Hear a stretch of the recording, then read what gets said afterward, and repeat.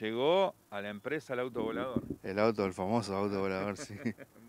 Bueno, Tiene, tiene varios nombres, el auto volador, el auto volador de Toreto. ¿Qué otro nombre tiene?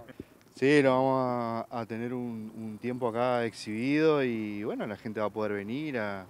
Ya vinieron, de hecho, a sacarse fotos y, y bueno, ahora vamos a empezar a, a montar algunas producciones para, para redes sociales. Hace algunos memes. Algunos memes, sí.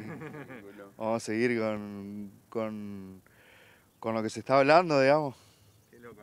Bueno, contaron que los pusieron en marcha. Exactamente, hace un rato nomás, porque cada vez que ingresa un automóvil, para garantía de la gente que hoy los va a comprar, nosotros lo ponemos en marcha, lo encendemos para que vean que funciona todo. Entonces, una vez que se desarma, ya no lo podemos poner en marcha. Entonces lo hacemos ni bien ingresa. Si bien ingresó el sábado y ya lo llevamos a la costanera, hoy le pudimos hacer bien el testeo como corresponde. Bueno, sigue volando, ¿no? No le gusta estar en el piso. No ¿eh? le gusta para nada estar en el piso.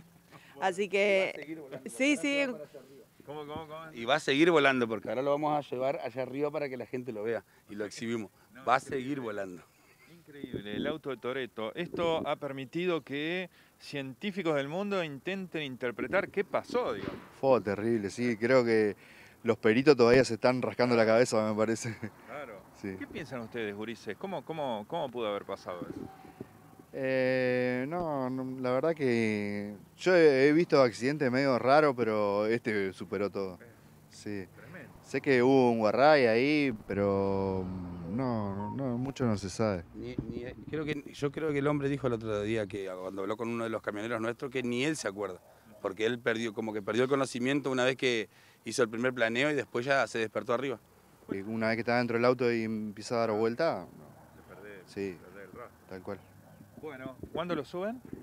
Y seguramente en el día de hoy o capaz que esperamos unos días para que la gente que se quiera sacar foto allá arriba es un poco difícil, así que seguramente entre hoy y mañana lo vamos a subir.